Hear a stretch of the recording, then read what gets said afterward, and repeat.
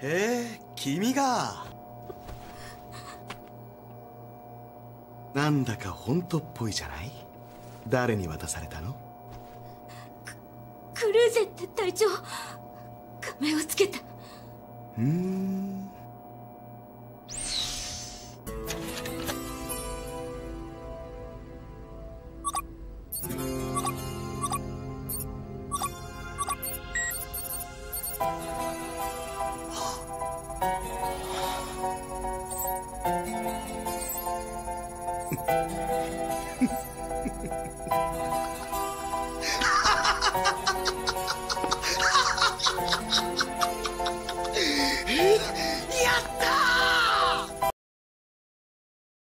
エヌジャマーキャンセラーのデータを手に入れたというのは確かに大手柄だよアズラエル。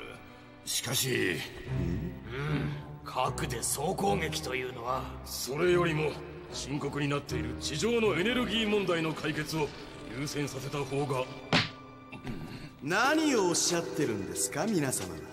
この後に及んで。撃たなきゃ勝てないでしょうがこの戦争。敵はコーディネーターなんですよ。